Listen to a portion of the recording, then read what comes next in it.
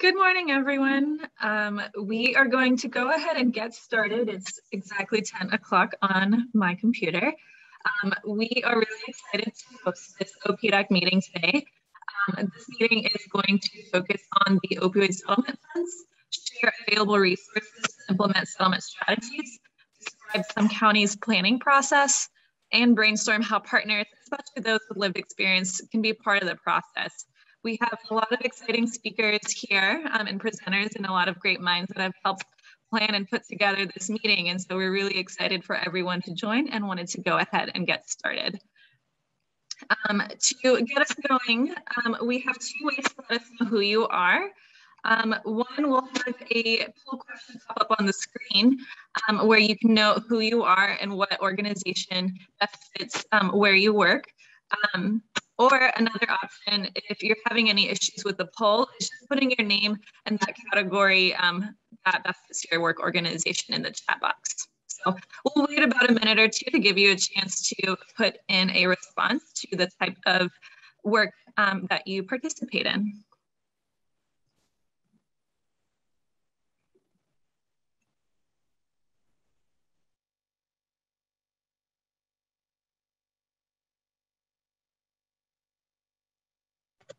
I see a couple notes on audio being a little scattered, so I'm going to try to switch to headphones while y'all um, fill out the poll.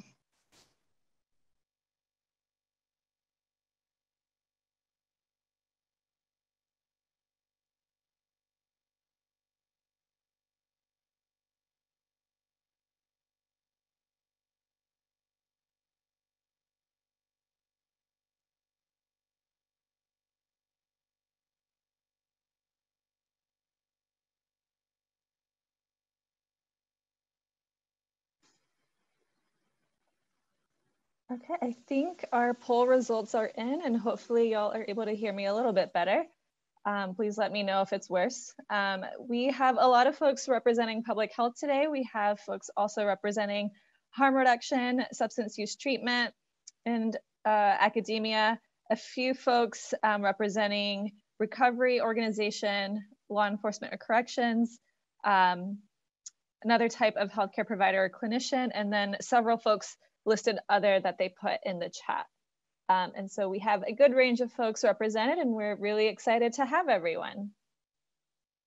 A few quick housekeeping items. Um, for questions during the meeting, um, you're welcome to just use the chat box to put in any thoughts or questions you have. The chat is going to be monitored during uh, the meeting all throughout. Um, Note that to make sure your messages get to everyone, you might need to double check what your drop, drop down menu is defaulting to and make sure you select all panelists and all attendees um, to make sure that we don't miss your message. Um, and if you would like to ask a question to a specific presenter, just include their name um, in your question so we know who to direct the question to. Um, and of course, we'll try to get to as many questions as we can as time allows, um, but we may not get to everyone, um, but we'll do the best that we can.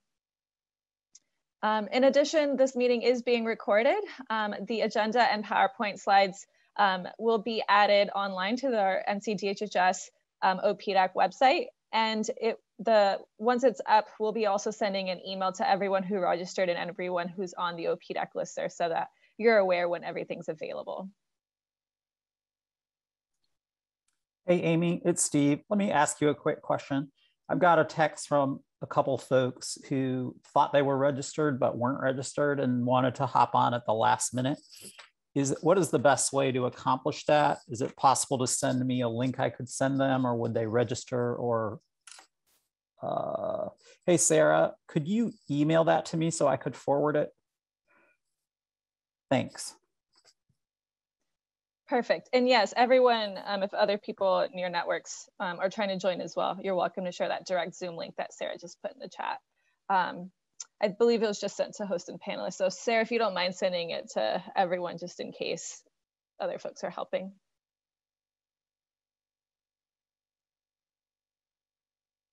Thank you. And I think we are good for our next slide.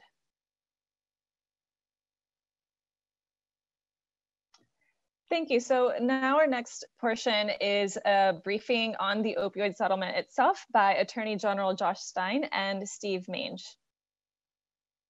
I will be queuing up um, the first portion for Attorney General Josh Stein. He has some pre-recorded remarks that he'll be offering to provide an overview of the opioid settlements. His senior policy counsel, Steve Mange, will follow up with some additional detail. Attorney General Stein was sworn in for the first time as North Carolina's 50th Attorney General in 2017 and his second term in 2021. Attorney General Stein has made uh, sorry, excuse me, Attorney General Stein has made addressing the opioid epidemic a top priority. His office drafted the STOP Act to reduce the number of people who became addicted to opioids through smarter prescribing practices. The HOPE Act, which gave law enforcement additional tools to stop the flow of prescription pain pills into the drug trade, and the Synthetic Opioid Control Act to drastically reduce the trafficking of illicit fentanyl. He has played a leading role in national efforts to hold drug companies accountable for their role in creating and fueling the opioid epidemic.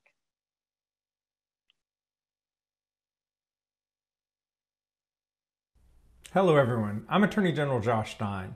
Along with my colleagues at the Department of Health and Human Services, I'm excited to welcome you to this meeting of the Opioid and Prescription Drug Abuse Advisory Committee. You all know well how COVID 19 and the challenges of the past nearly two years job loss, anxiety, depression have led to a worsening of the opioid epidemic and a spiking of overdose deaths. Now, more than ever, we need treatment and recovery resources to help people struggling with opioid addiction in North Carolina. Over the past several years, I've been working to hold accountable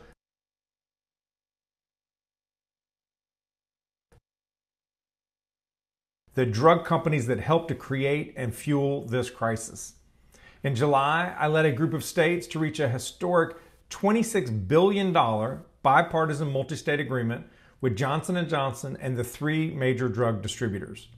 We also helped to negotiate an 8 to 10 billion dollar bankruptcy plan with Purdue Pharma and the Sackler family. Additionally, we secured 600 million from McKinsey Consultant for advising Purdue Pharma on how to turbocharge its sales of OxyContin. All in, North Carolina is poised to receive nearly $900 million for treatment, prevention, and harm reduction services over the next 18 years, with a large percentage coming in the first few years. This money gives us a once in a lifetime opportunity to turn the tide on this epidemic. And I'm grateful that we have so many local programs already working to help struggling North Carolinians. In the coming months, I look forward to shining a spotlight on their successes, how they are saving lives and helping people heal, and how they are examples for others to see, particularly as we think of how to best use opioid settlement funds. We need to work together to make sure these funds go to actually help people in every one of our 100 counties. My policy director, Steve Mange, is up next to tell you more about effective partnerships, the agreements that will help oversee how the money is spent in North Carolina, and the urgency that all local governments join the agreement now. I want to thank you all for being here. I want to thank you more importantly for your dedication to fighting the opioid crisis and helping North Carolinians lead healthier lives. We didn't get into this crisis overnight. And after years of hard work, we know we will not get out of it, out of it overnight either. But we have an incredible opportunity to make a real difference if we work together. And that is one of the fundamental premises of OPDAAC meetings to foster effective partnerships and create a collaborative spirit. The Department of Justice and I are committed to working arm in arm with you all as we continue this fight and build a North Carolina that is safer, stronger, and healthier for all. Thank you.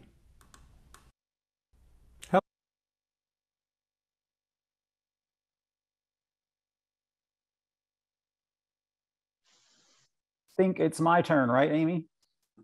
You're Wonderful. up, Steve. Yep. All right. Well, thanks so much. Um, we have, I think, close to 500 people joining us today, which is a real testament both to the organizational skills of DHHS in putting these meetings together and getting the word out, and also to the level of interest in this particular topic. So I'm just delighted to be a part of this program today and to share some basic background about the opioid settlements. And I thought I would start with this first slide Um, just to give folks a little bit of the lay of the land, because this is some very complicated litigation, both in terms of the range of plaintiffs and the range of defendants and the range of claims. And so what you see here is a chart. Um, there's three columns, manufacturers, distributors, and pharmacy chains, and those are the different defendants involved in the litigation. And this first row you see filed for bankruptcy indicates that um, some companies, because of the weight of the litigation, have are now in bankruptcy, and that puts them in bankruptcy court, um, which is its own kind of animal. And of course, the key uh, party here is Purdue Pharma, um, and so they're in bankruptcy. The second line you see that's highlighted in red, this is um, what we'll be talking about a lot today, which is kind of the big settlement involving the big three drug distributors, as well as the drug maker Johnson & Johnson uh, which owns a subsidiary Janssen Pharmaceuticals involved in manufacturing opioids. And this is the $26 billion settlement that we'll be talking about quite a bit. And the point of the bottom row is really just to remind everybody that even with the resolution of the Purdue Pharmacy, uh, the Purdue Pharma bankruptcy um, and this national settlement, there's still ongoing litigation against some opioid makers, as well as in particular the various pharmacy chains that you see listed there. Um, and so the litigation will continue even beyond the settlements that we're talking about today. Next slide, please. So if you take together the big settlement I mentioned with the drug distributors and Johnson & Johnson, and you add the Purdue um, bankruptcy resolution. On top of that, we're anticipating um, over $30 billion over the course of 18 years um, in opioid settlement funds coming down to the states and territories. What that means for North Carolina is potentially as much as $850 million spread out over 18 years, um, with a certain amount of that front loaded in the early three or four uh, the, the first three or four years of the settlements. Um, one thing I want to note about that is um, there's some fairly draconian participation requirements in the uh, distributor settlements. Basically, the distributors are trying to get as many states and local governments swept into the settlement as possible. And so um, the amount coming to North Carolina de depends in very significant part in getting not just the state, but all 100 counties and all of the large and medium municipalities to sign on to the settlement. If all of that happens, we get as much as 850 million over 18 years. Next slide, please. So what happens to that money? Um, we spent many, many months working with the North Carolina Association of County Commissioners um, and a group they put together called the 555 Committee five commissioners, five attorneys, and five managers to hammer out a memorandum of understanding about how the settlement funds would flow in North Carolina. And I do want to really sincerely thank the Association of County Commissioners, uh, Kevin Leonard, their executive director, Amy Bason, deputy director, Sarah Magilski, communications, uh, Jasmine Beach Ferrara, who's on the program with us today, one of the 555 committee members, um, and all the other folks at the county commissioners who helped work out this arrangement, which is in many respects, I think, one of the best designed MOA uh, memorandums of agreement in the country. And so what we worked out is that as this money comes in over the course of 18 years, 15% of it will go to the state um, for the General Assembly to allocate, and 85% of it will go to local governments, um, including all 100 counties, plus 17 of, of the largest municipalities. Next slide, please. Um, one of the exciting things, both about the national settlement and about the North Carolina MOA, is that the uh, both the national settlement and the MOA direct um, the overwhelming majority of the funds coming down to addressing the opioid epidemic. And this addresses really a central critique of the tobacco settlement, which was that very little of the money went to actually addressing um, smoking and uh, all of the public health harms associated with smoking. And so there was a really um, very self-conscious effort on the part of all the parties to make sure we didn't repeat that with the opioid settlement. And so under the MOA, um, uh, this is simplifying a little bit, but there's essentially for all the local governments, two options, option A and option B. And under option A, local governments are allowed to select from a range of um, evidence-based strategies that you see listed here. Um, and um, I really want to credit um, DHHS for helping us develop this list, in particular, um, Elyse Powell, the state opioid director, who uh, really has worked with us over the last two years to make this MOA as strong as it is. Um, but you see here that these are really bread and butter strategies. They come straight out of the opioid and substance use action plan that DHHS has worked on over the past five years as well as the menu of local options that's part of the action plan. Next slide, please. There is a second option on the local use of settlement funds, and this, this is an option uh, that kind of has two parts to it. Th this option B opens up a wider range of strategies for local governments to consider. There's actually, as part of the national settlement, about a 15 page um, strategy list. And in order to sort of go beyond the option A strategies, option B provides for a collaborative strategic planning process with some of the engaging diverse stakeholders, looking at data, looking at root causes, and so forth. Um, and so that is kind of a second option that counties and municipalities can use either separate from option A, or you could actually do both option A and option B. And furthermore, you could do you know, one thing one year and something else the next year. Next slide, please. Another thing we're really proud of about the MOA is the level of transparency and accountability that comes along with these settlement funds. And I, and I think this is unprecedented in the country. I'm not aware of any other state agreement that provides for this level of transparency and accountability. And so folks need to understand that before a local government can even get any settlement funds, they need to set up um, a special, something called a special revenue fund, where the funds are segregated and audited at the local level. And even before any money is spent, there's going to be information provided by counties and municipalities that it's going to go on a statewide opioid dashboard that you're going to hear more about today. Um, that would include if there if there was an option B planning process, it would include report and recommendations coming out of that process. Um, in every case, um, there is going to be required a very specific budget item or separate resolution ahead of the ahead of any spending, explaining that this is money in the special revenue fund that's devoted to opioid remediation strategies and a certain amount of money will be spent on a certain strategy over a certain period of time. And then after the fact, folks are going to be able to see on this statewide dashboard both annual financial reports and annual impact reports um, from each of those 100 counties and 17 municipalities. So there isn't going to be any mystery about how the money is being spent or how the money was spent. Um, and so that's something, as I said, we're quite proud of. Next slide, please.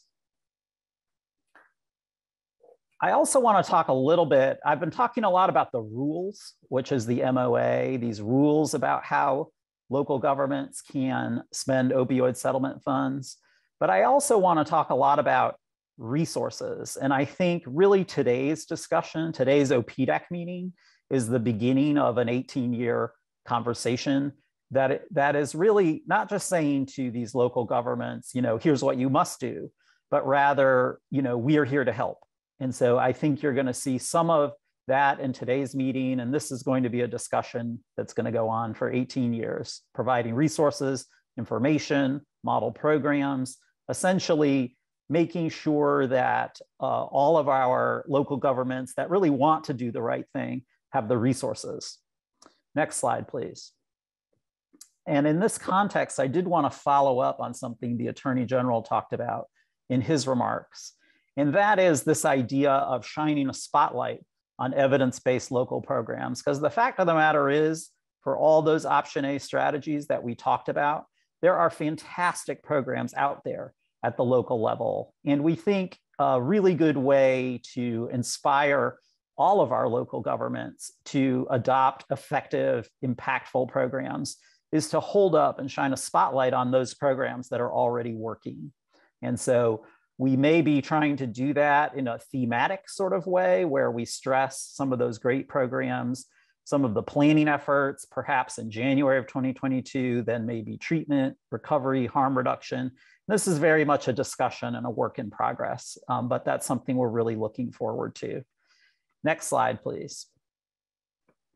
And so I've noticed some of the questions that we've seen in the chat have to do with how folks can get information, how they can get copies of things. Um, and so I would um, direct folks, uh, among other resources, to the More Powerful NC um, website that the Attorney General's office has put together, and then click on opioid settlements. And there you can get all sorts of information, both about the national settlements, about the MOA, about the sign on process. And there's two other websites, and these are on the bottom of the agenda that um, Sarah Smith sent out. One is the um, website that um, the folks at the Injury Prevention Research Center are going to talk about. Another is the County Commissioner's website. And of course, um, I would be remiss if I didn't mention kind of the bedrock source of a lot of this information, which is uh, the DHHS website including the statewide opioid and substance use action plan. In closing, um, since we're coming up on a presentation about the dashboard, um, I did want to just say uh, a big thanks to DHHS and some of our other partners for the tremendous partnerships that I think you're going to see reflected in today's presentations. And so I already mentioned the just phenomenal partnership with DHHS that we've had over the last five years. I mentioned Elyse. We've also worked with DeDe Severino and her team at the Division of Mental Health, and of course, Amy Patel, Alyssa Kittless, Sarah Smith, and a very long list of other folks at the Division of Public Health. And we're so grateful for that.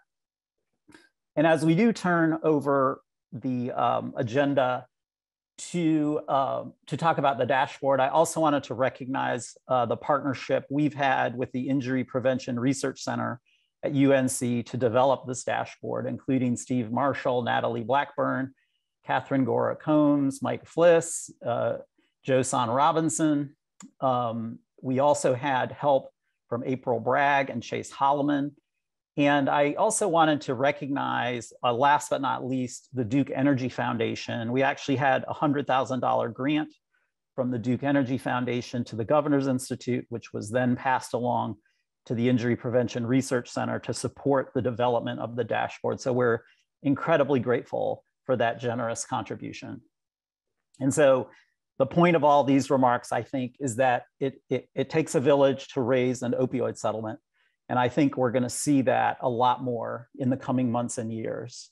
And so, with all of that said, it's my great pleasure to turn the agenda over to uh, Natalie Blackburn, who is a public health scientist and all around great person at the Injury Prevention Research Center. Natalie, the floor is yours. Thanks, Steve. Um, so we can go to the next slide. And I will um, kick things off and then I'll turn things over to Amy Patel um, to talk a little bit more about the resources. But first, I wanted to say thank you for having me. Um, again, my name is Natalie Blackburn. I use she, her pronouns, and I work at the UNC Injury Prevention Research Center. Uh, next slide. And I'm going to be talking about ncopioidsettlement.org today. Uh, next slide, please. For those of you who may not be familiar with the Injury Prevention Research Center, um, we are in Chapel Hill.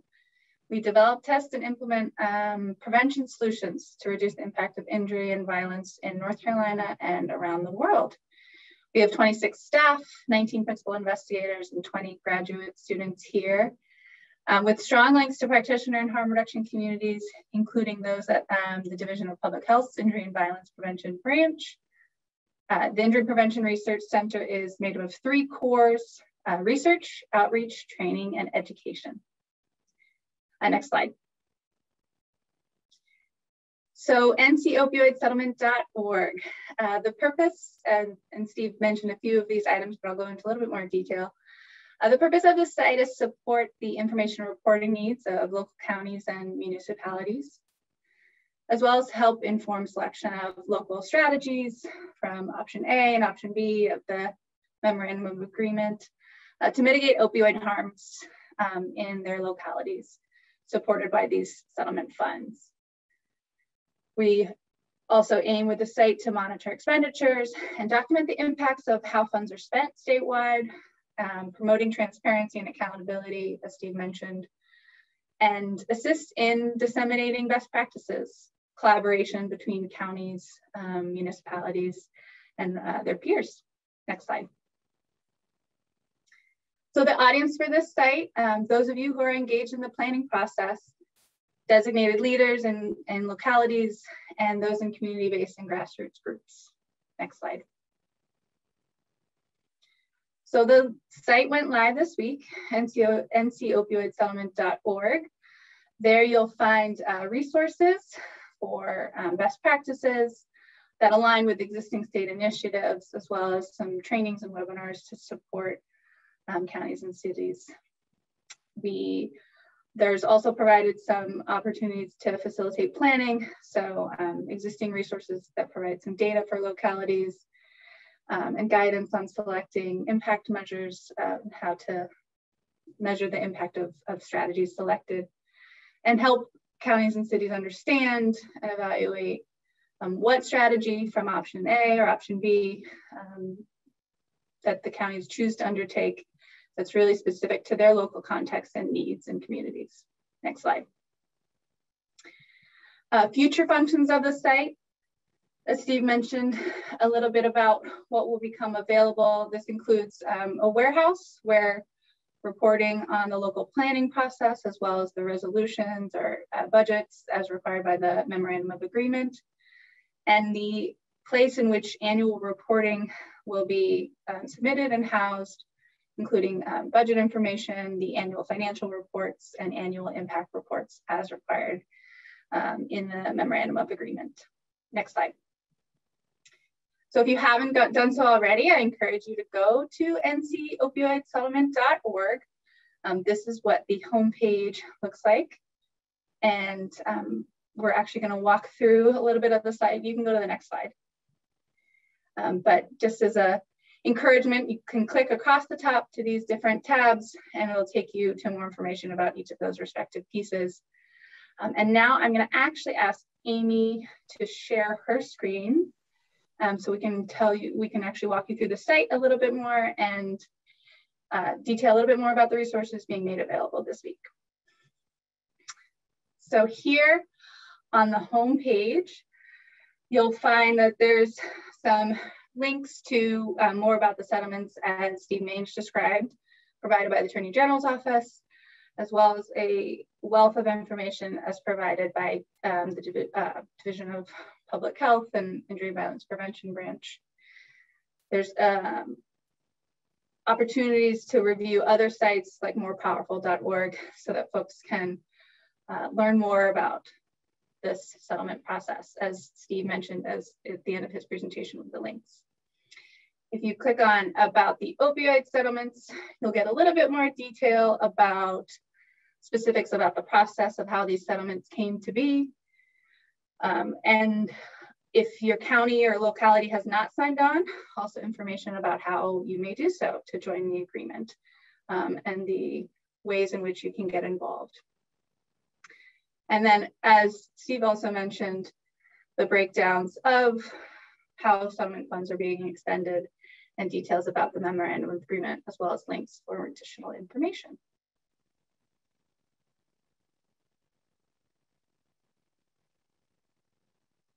I will let Amy talk about resources, but on the next tab, you'll see um, a place that is coming soon where we will provide more information about um, how funds are being expended, the reporting that is required for counties and municipalities, and ways in which um, we can further facilitate uh, counties in their spending of settlement funds.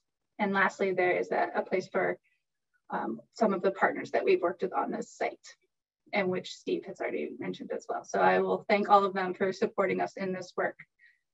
So now I'll actually let Amy, um, given our strong relationship with the um, Injury and Violence Prevention Branch, they provided these resources and I will let Amy talk through those and what's been provided. But thank you all for your time today and I'm happy to answer any questions. Thank you so much, Natalie. Yeah, so with the full Department of Health and Human Services, we kind of co coordinated and collaborated to get a wide range of resources put together that is structured around um, the different strategies in the MOA.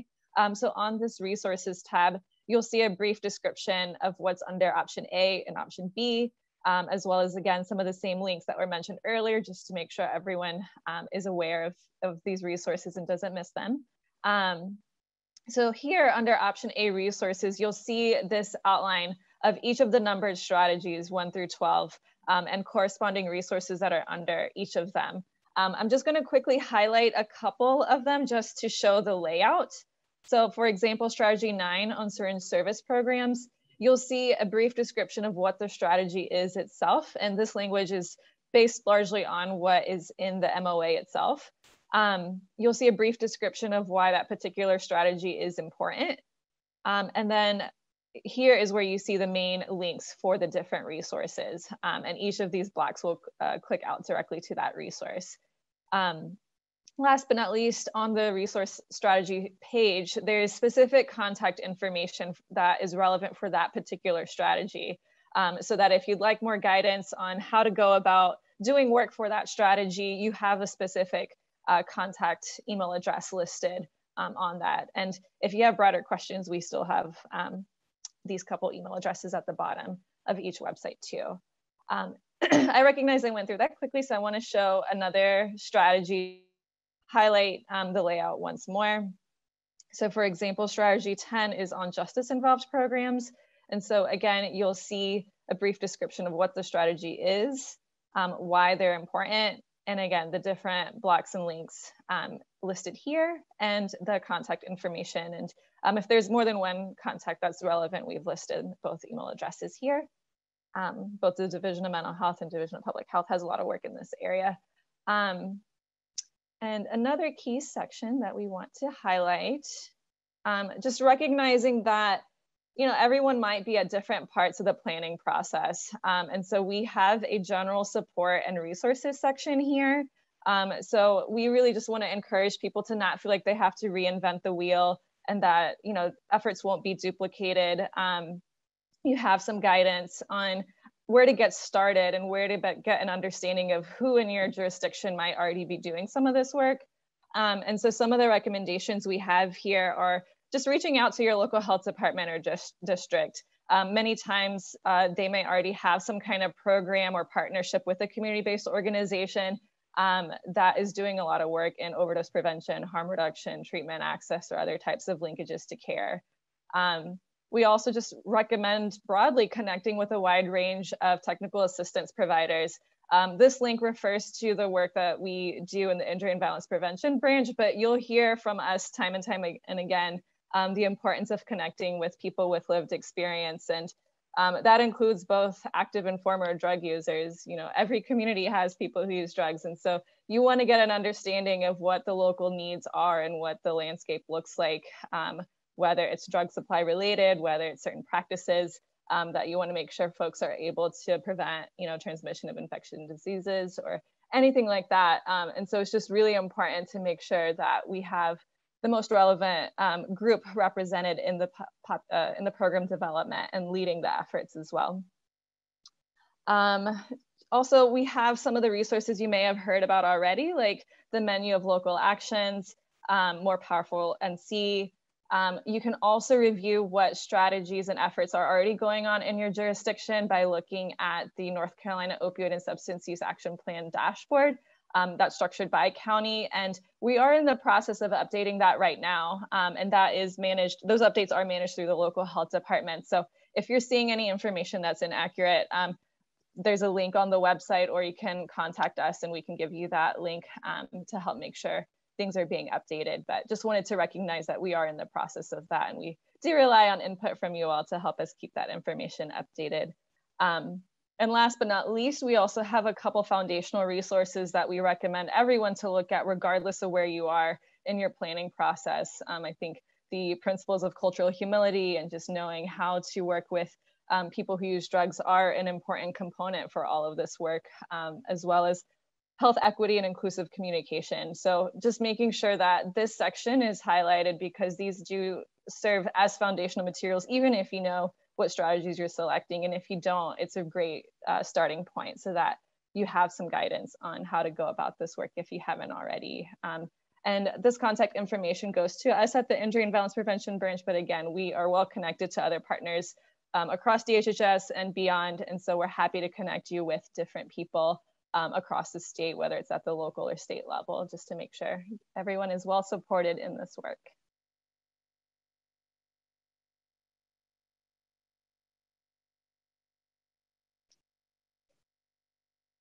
Just transitioning. I think we can go back to the slides whenever you get a moment. Thank you.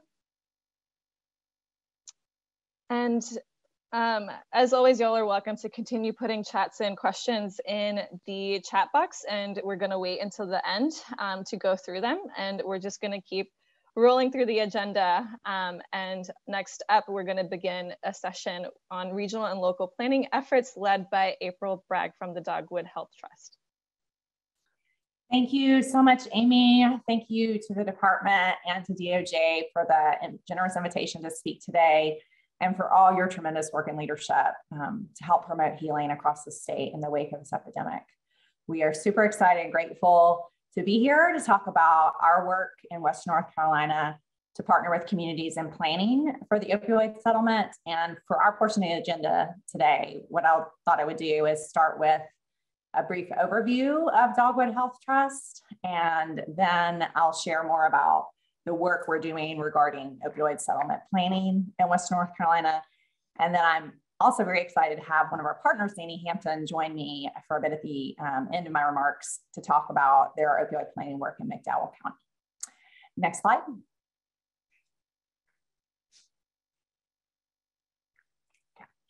Dogwood Health Trust is a private foundation. We're based in Asheville. Um, we are created by the sale of Mission Health System and our resource for the Western North Carolina region in perpetuity. And that means that our grant making continues year after year. We are completely independent, governed by a volunteer board of directors and regulated by the IRS. And we provide grants to the community of Western North Carolina upwards of 50 million annually. For instance, in um, 2021, we are on track to pay out over 66 million in awards throughout Western North Carolina. And this map here on the screen shows the counties that we serve, which are the 18 counties west of and including Avery, Burke, and Rutherford County, and the Eastern Band of Cherokee at the Qualla boundary, which is um, in red in the middle of the map. Next slide, please. At Dogwood, our mission is to dramatically improve the health and well-being of all people and communities of Western North Carolina. Next slide. So how do we endeavor to do this?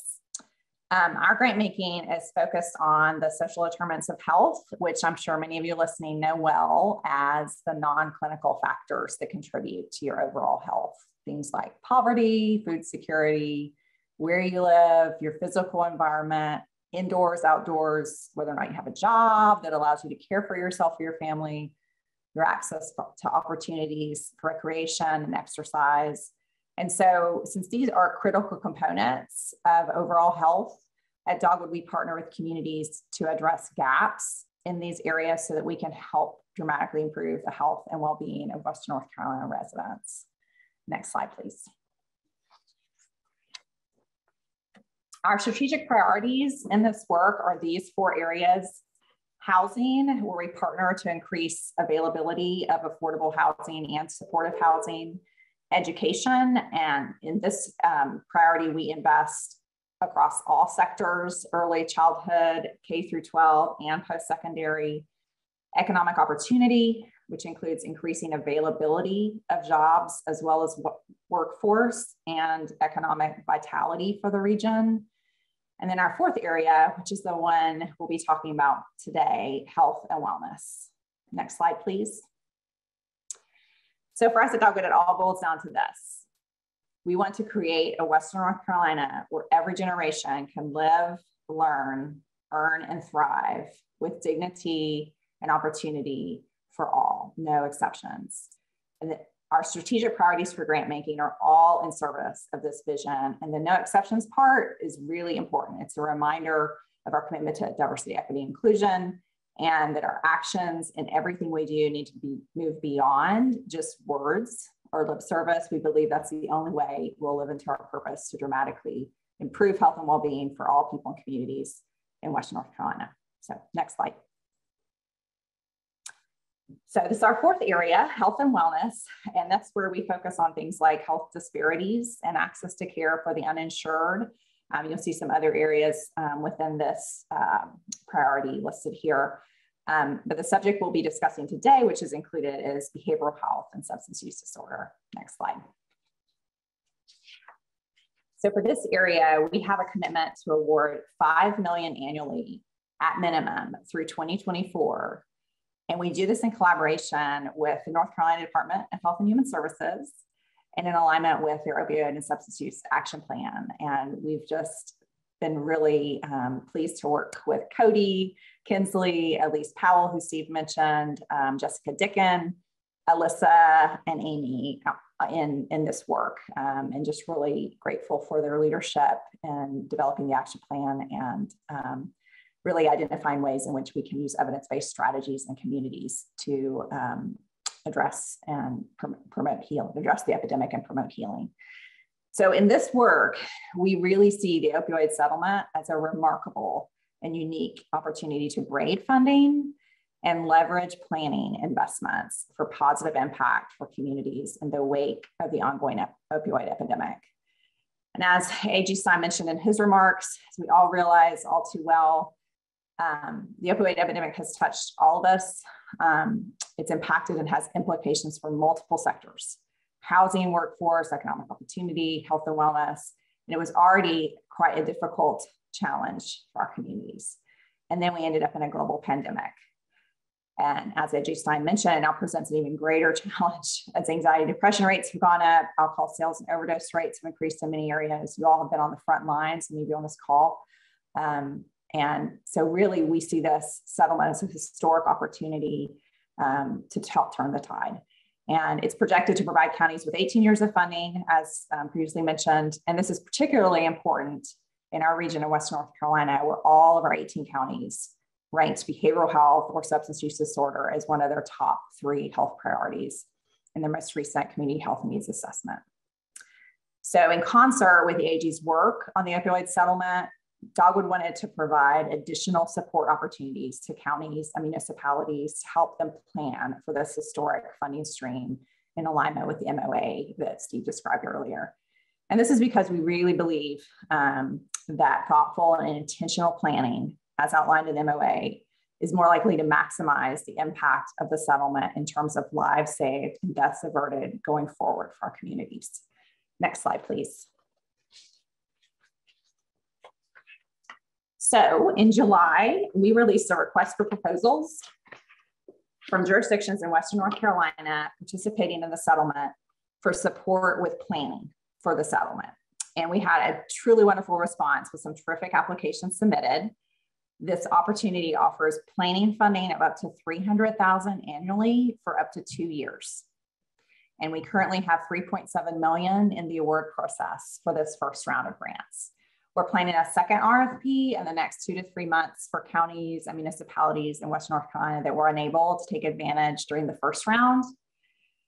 And for this RFP, we really use the MOA as a guide. We define planning fairly broadly. It can be strategic planning, cost process planning, capacity building through partnership cultivation, needs assessment, data collection.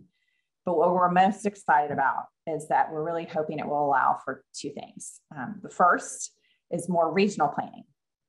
As you can see from that amazing website we just we just saw, counties will have connectivity to be able to learn from each other, collaborate more easily, and instead of reinventing the wheel or working in isolation, truly partner and work together to maximize impact.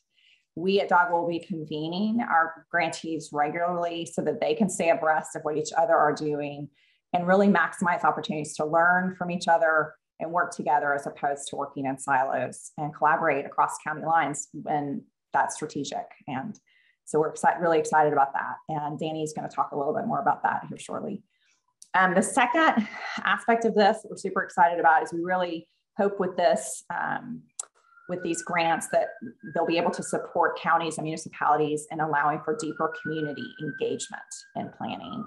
And this means deeper involvement of individuals with lived experience with opioid and substance use, deeper involvement of community members whose voices have often not been heard because of things like systemic racism or other disparities, deeper involvement of families who have been personally impacted by this devastating crisis. It, it, seems that resources to support this kind of deeper, more strategic work are sometimes hard to find, limited in our communities. Um, so we're excited to be able to provide this support in hopes of maximizing positive impact of the settlement dollars in West North Carolina. And we look forward to keeping you all posted on how the projects are going um, in terms of planning and preparation for the settlement. Next slide. So with that, I want to introduce one of our partners in this planning work, Danny Hampton from Freedom Life in McDowell County. The nonprofit Freedom Life is working closely with McDowell County and the McDowell Substance Use Coalition to help prepare for the settlement and address substance misuse. They've been doing great work on this issue for a while now. And so Danny's going to tell you a bit about who they are, what they've been up to, and what their plans are for um, this funding. Danny, the floor is yours. Uh, thank you so much, April. Uh, good morning, uh, everyone. It's an honor to be able to be part of this meeting and also part of the discussion that is so critical um, for all of our counties and communities across uh, the wonderful state of North Carolina. My name is Danny Hampton. I'm the executive director for a reentry organization um, called Freedom Life. Um, we are partnered with the North Carolina Department of Public Safety as a reentry council intermediary agency. Um, and we do pre and post release work uh, with men and women um, who have faced incarceration and also work with them as they reintegrate back into the community to provide um, comprehensive and holistic supportive services um, for them when they get out, um, as well as to provide planning for them while they're still inside. We are also the, the backbone organization and partner with the McDowell Substance Use Coalition. Um, we've been a part of coalition work for the last eight years. Um, when we first started doing reentry work, we realized that approximately 80% of the men and women that we seek to help and to serve struggled with some type or form of substance misuse. And we knew that we had to partner with our community if we were going to be able to make a difference in that regard. And so we have been partnered with the Substance Use Coalition, which itself has over 25 different agencies and organizations within it from across McDowell County. Um, that uh, again, has been working very hard over the last few years to to do the work and, and try to develop strategies uh, to engage um, the extreme substance use needs that we see within our county. Uh, we are also partnered uh, as a coalition. We are partnered with McDowell County itself and McDowell County government, our McDowell County commissioners, and we are very grateful for their um, for their heart and concern for our community. And, uh, and so we realized when the opioid settlement funding um, was going to be coming, coming out, even though we weren't sure when, we knew that we needed to get on the, the front end of the curve of being able to do the work to prepare so that funding could be um, managed and invested within our community in the most effective ways. Um, and we are very grateful to Dogwood and for um, the kind of support that they are providing. We're also grateful for their desire to also see other philanthropic organizations partner even together with organizations that they're partnered with. And we have had the privilege of doing that in, in the beginning of 2021. Uh, we were able to partner with Kate B. Reynolds, who has been in our county for a while doing incredible work.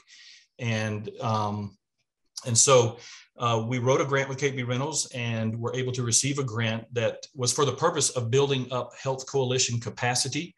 Um, we realized that opioid settlement funding investment was going to require an organizational approach that was uh, itself very solid and, and very capable.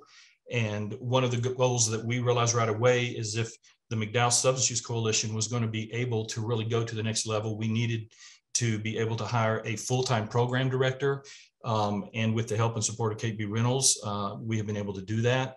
Um, she's actually, you see her on the screen with me right now, Angela Grubb, and we are very excited about um, her work that she brings, her experience that she brings from across our state, as well as in research uh, and other areas of mental health and substance use um, um, areas of, of investment. And so um, through, through the funding to KB Reynolds, we've been working to build up coalition capacity and county partnership capability in anticipation of preparing to do the, the grant planning that was that uh, is necessary for for being able to move the potential forward of, of what can happen.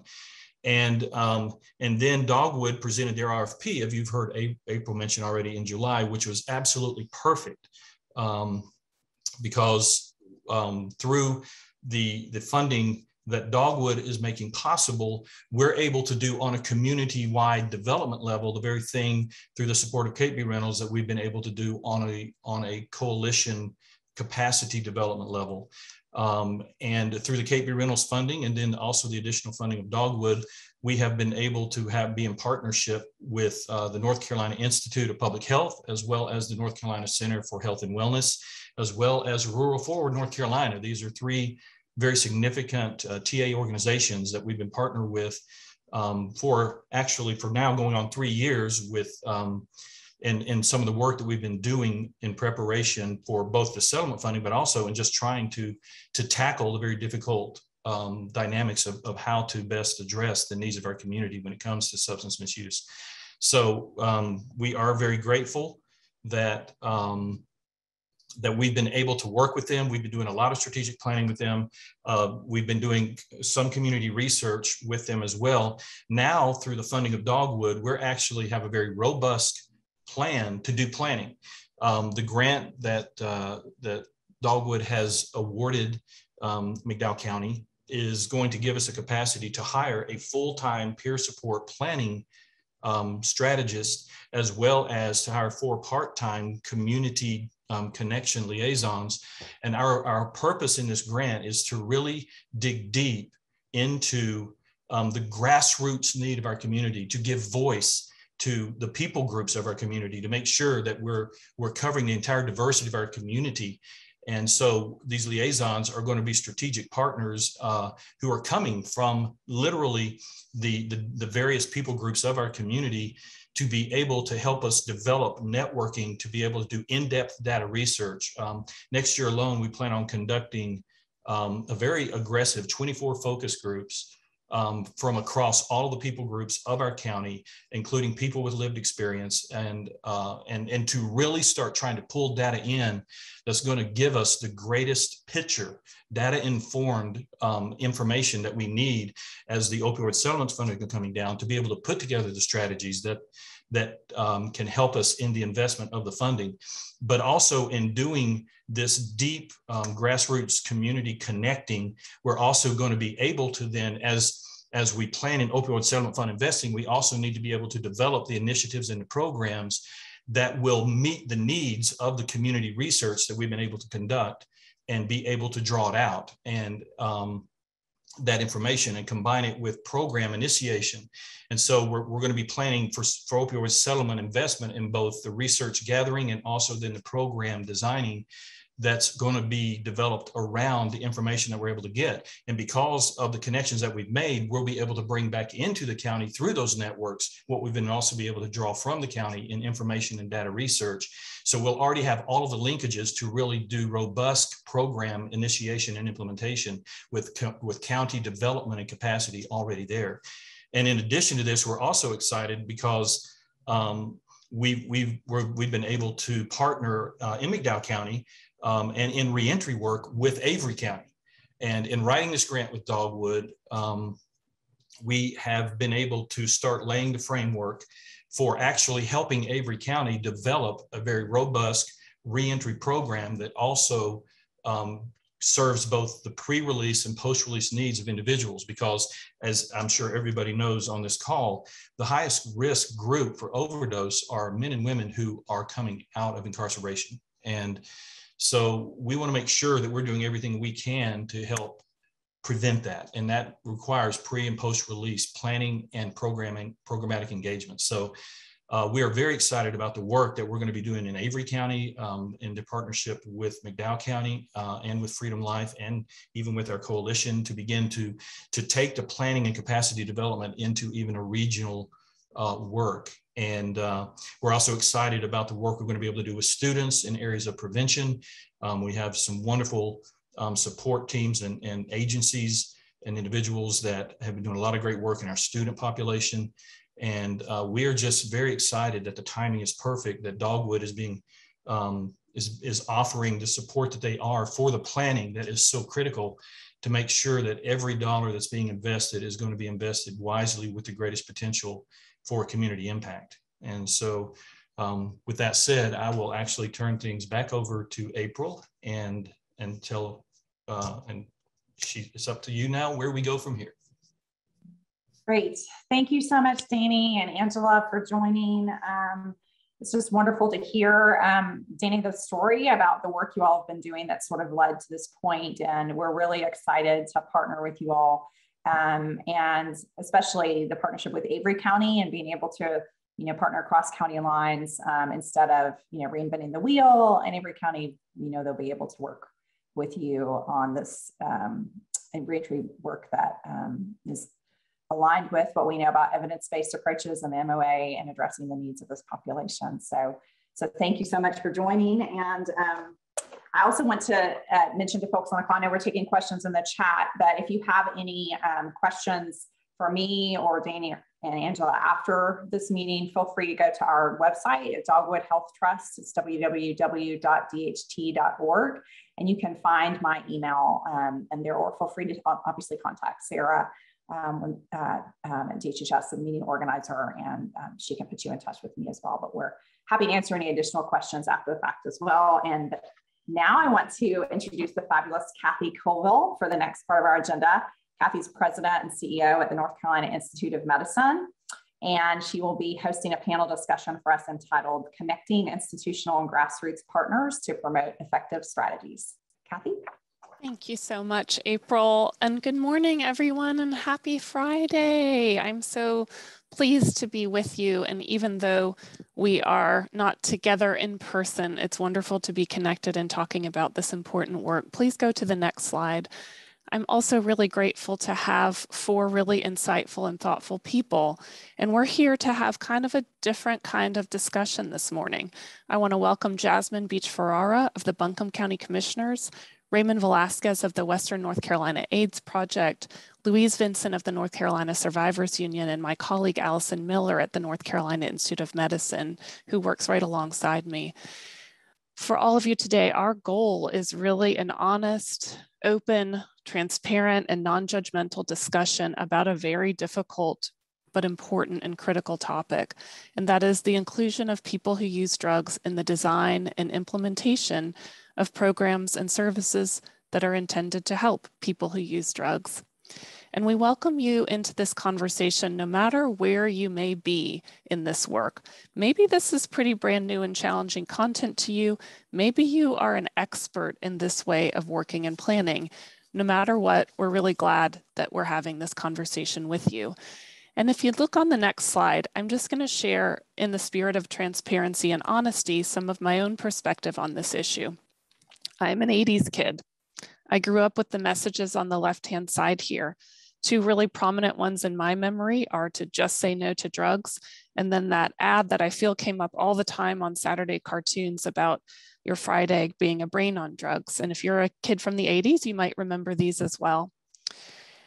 Um, and while a lot of research might have said that these may not have been as effective as they were intended, these were very memorable messages for me, and they made me scared of drugs, and they also made me scared of people who use drugs.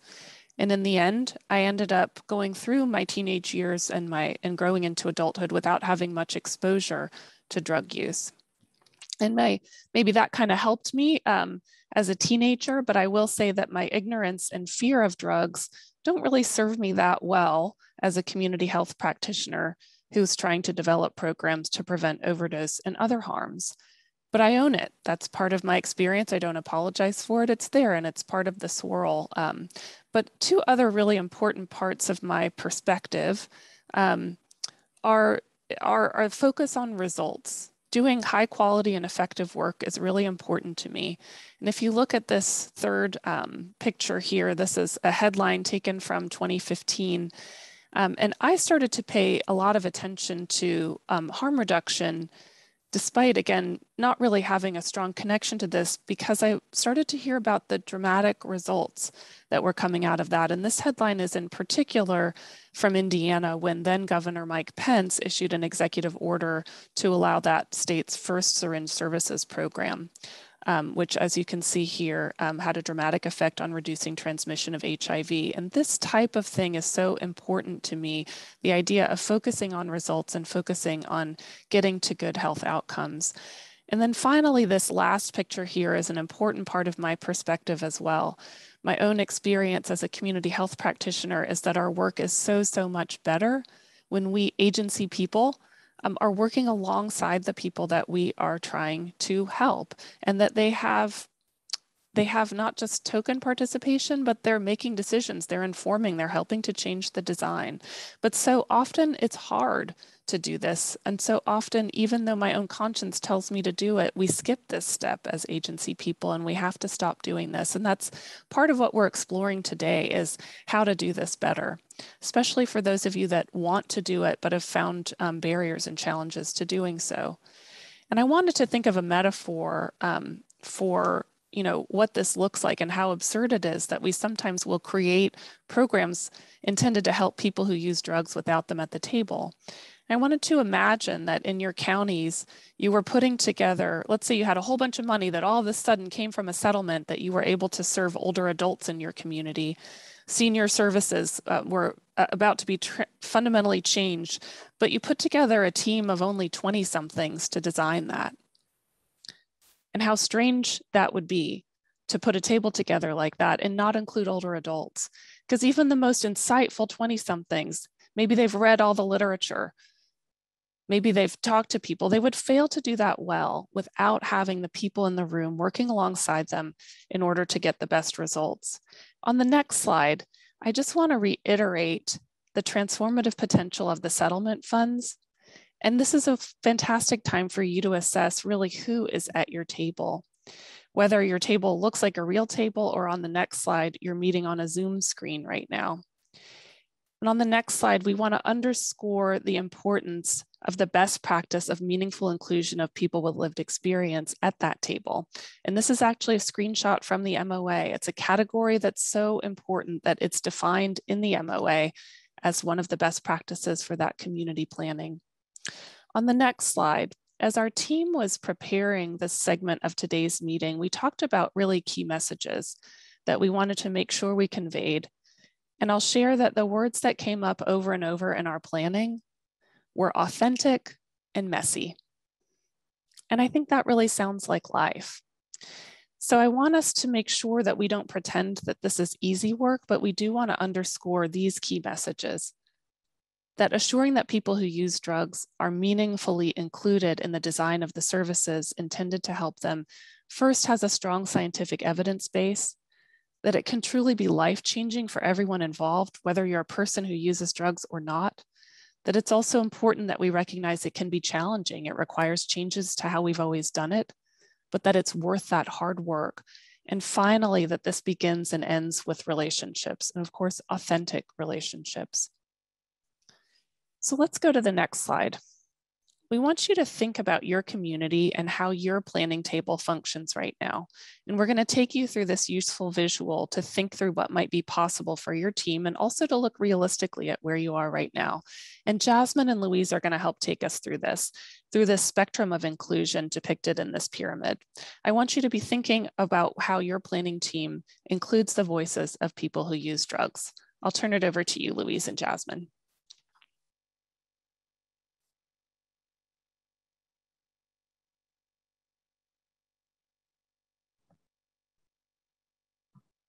Great. Can you hear me now? Yes.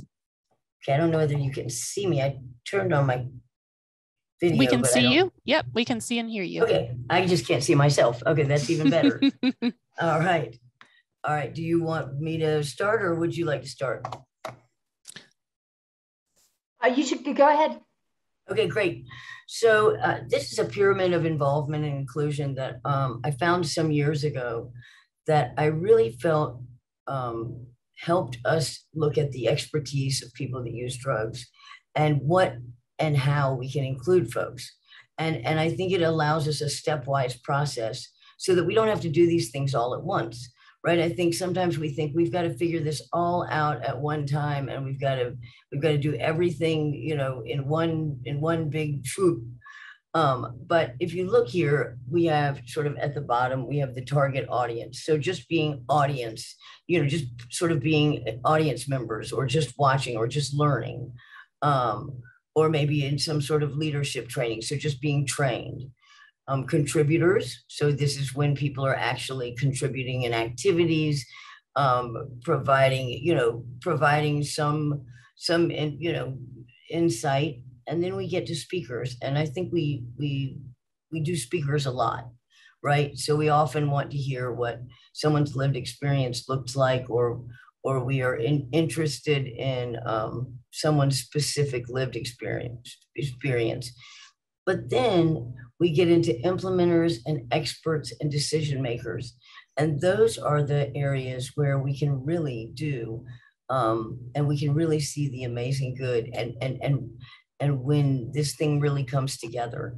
Um, I know in in my own work and watching it sort of it, in my own life, watching as I've sort of climbed up and down this pyramid, um, when when we have decision makers, and and you can't start there, because the truth of the matter is is we aren't just experts because we're drug users, right? That's that's a thing we say sometimes, but it's confusing um, we have to do the hard work of unpacking the drug war, and we have to do the hard work of of um, you know being educated and and um, and and attending you know some of these some of these uh, events that folks have and and really learning about public health and learning about how uh, the social determinants of, of health have impacted our lives. Otherwise, we have people on advisory boards saying things like, it's a good thing I went to prison because they've not done the work to unpack how the social determinants of health have impacted their life.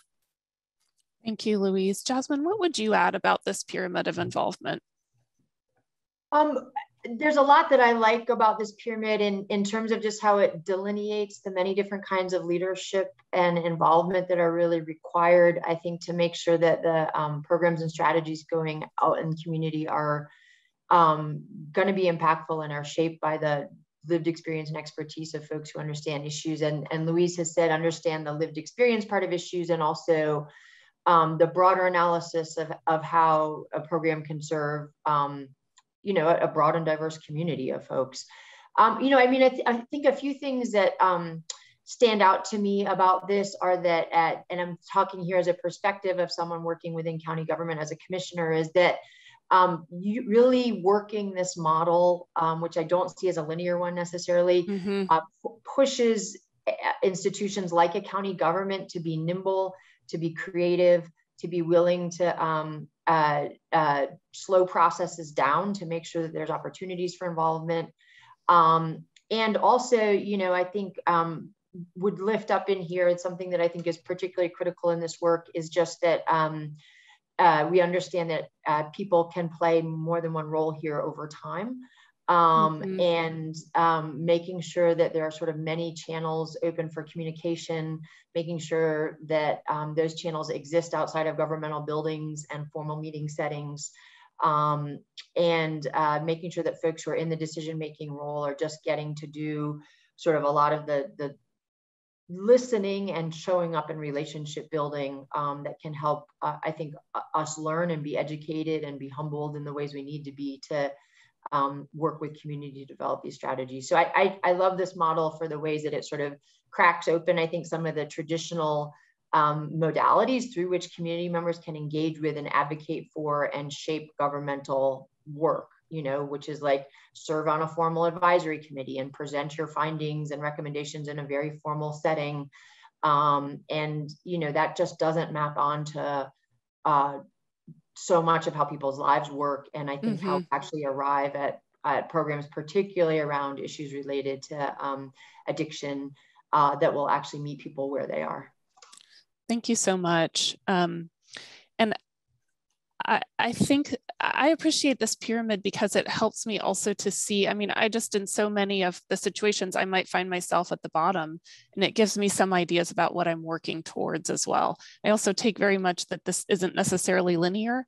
This makes it makes it a little bit tidier than we've already um, mentioned it might be. But I will underscore that for me, what's really important is that in order to make those changes that Jasmine talked about, about maybe changes to your meeting practices, going a little bit more slowly, doing different types of um, inclusion, it's important for me to know that that's working towards a strong set of results and evidence. So we're going to ask Allison Miller to take us through a very brief review of what this evidence looks like. And we'll go to the next slide to start with that. Great. Thanks so much, Kathy. And it's so nice to be here with all of you today. I'm just going to talk for a few minutes about engaging directly impacted people in strategic planning and program development. Um, so, all right, why is it important to meaningfully engage people who use drugs and people with lived experience? There are several key reasons. Um, engagement can promote understanding of what people who use drugs need in terms of both services and supports, as well as the barriers they might face including stigma and structural barriers such as transportation and so on. It also helps to build trust with the people and communities served by strategies and programs to address addiction and overdose. Without trust, uptake or willingness to receive services and supports could be low. Um, but trust is bidirectional too. So building, building relationships with directly impacted people can reduce stigma surrounding drug use and create employment and other opportunities that might not exist otherwise. And increasing understanding of what people who use drugs need and building relationships grounded in trust can support the development and implementation of effective strategies that reflect the information, thoughts, and experiences of directly impacted people. Next slide, please. So there's a lot more that could be said about the evidence to support this work, but I wanted to give a quick overview of the conceptual underpinnings and the translation of academic research in this area into practice. Uh, Kathy touched on this in her presentation as well, but the idea of nothing about us without us has been described and included in recommendations from a number of organizations over the years. Uh, this CDC report from 2018 describes this idea, stating that public policies should not be written or put into place officially or unofficially without the direction and input of people who will be affected by that policy and it continues on to say that, or to support the involvement of uh, people directly impacted by opioid use in particular in the design, implementation, and evaluation of interventions to assure that those efforts are responsive to local realities and can achieve their desired goals. And North Carolina's own uh, opioid and substance use action plan calls for centering lived experience by hiring, contracting, and collaborating with historically marginalized populations in all phases of organizational development as well. And then on the research side, community-based participatory research studies have examined the involvement of those affected by an issue for the purposes of education and action or affecting social change. Um, so all of that to say, this is not a new concept and it's been studied and applied in a number of other contexts, ranging from asthma, cancer, obesity, and HIV AIDS, in addition to substance use. Next slide, please. So I'll end here by sharing this table from a paper in the Journal of Substance Use Treatment, Prevention and Policy, where the authors reviewed the academic literature around working with people who use drugs and the design and implementation of programs and interventions. Um, and it found that reductions, uh, it found reductions in risk behaviors related to HIV uh, sexual activity and injection drug use, as well as improved outreach to more diverse communities and success in reaching higher risk groups. Um, so with that, I'll hand it back over to you, Kathy, and thanks again for your time this morning. Thanks, Allison. All right, and now we're going to come and talk to our panel. So we've got with us for this discussion, Jasmine Beach Ferrara, Louise Vincent, and Raymond Velasquez. And Louise, I'm going to go to you first.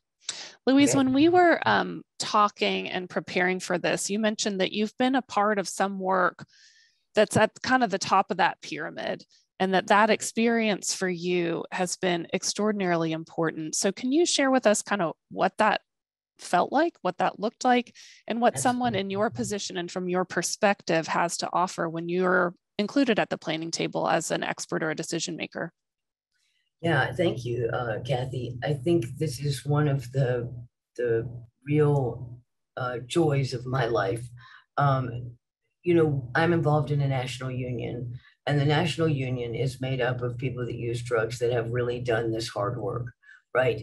This is a group of people that has has traveled around the world, been involved in planning committees, been involved in you know eh, board you know sit on they sit on boards they you know they work in the field um, and and and I've got to tell you, um, the kinds of the, the kinds of outcomes we see, the things we are able to do, the, the ways we are able to build and lead and grow um, and, and, and, and truly come up with interventions and, and really be part of um, a process that's meaningful, right? It's not just a process where we're sitting at a table but but we really are collaborating and being treated with dignity and respect, um, and seen as as really the, the, the people that should be um, making decisions. Um, I've got to say, in, in in just in North Carolina Survivors Union, um, the work we're doing with the researchers. Um, uh, right now, uh, you know, we have, you know, sort of set out what we believe research should look like and and that it should be participatory and we should have a say in the research that happens and we should be leading that process. Um, and those are things that are happening. Um, you know we had a we had a a, a woman and a, a man come in the other day to our office and um, and and we are doing drug testing and checking now.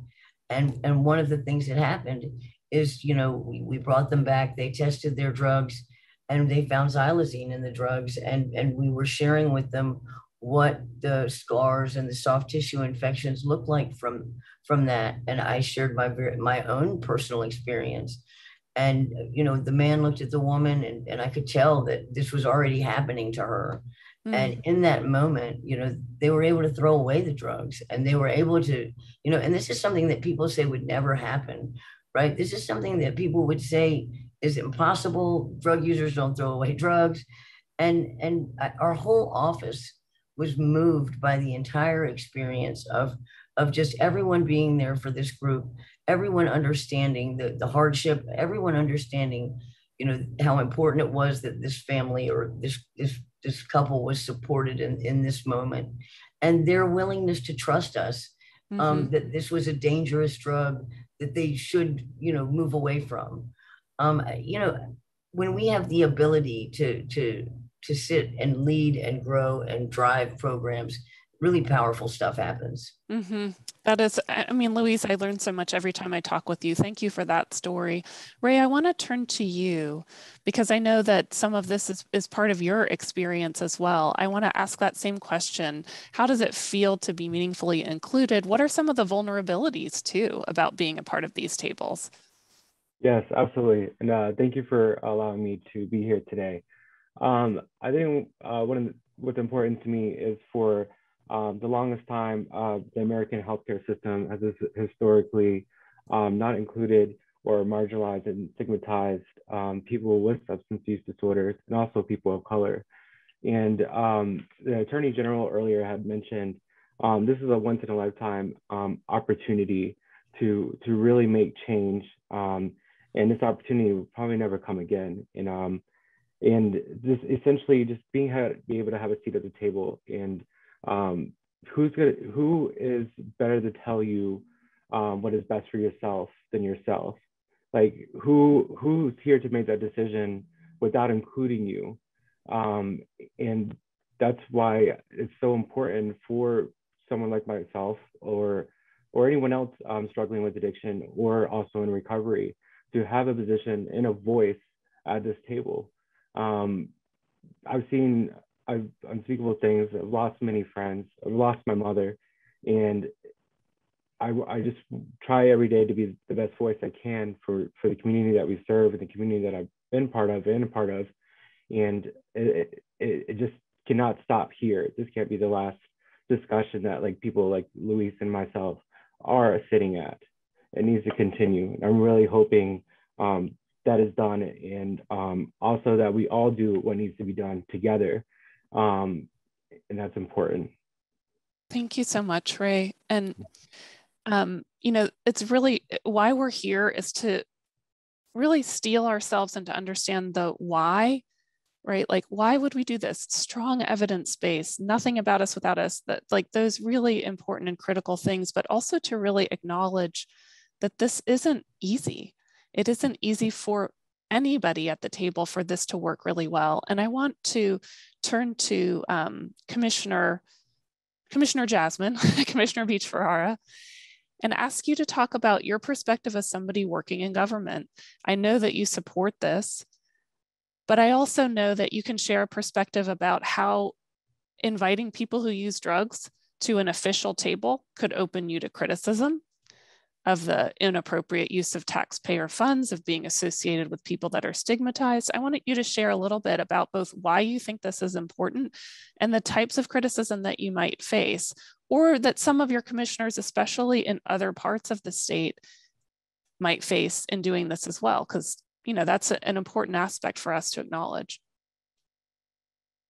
Well, thank you all for the opportunity. I've been learning a lot this morning. Um, and in many ways, I want to just echo and continue to amplify what Louise and Raymond have said, um, which is, you know, the, the why on this, particularly as we sort of uh, prepare as a state to go down the runway with the settlement funding um, and the tremendous opportunity there. The why is that um, if we want these dollars to really go to work um, and if we want to really have the opportunity to meet folks where they are and, and help people rebuild uh, their lives, um, it has to be informed by, um, you know, strategies that will actually work.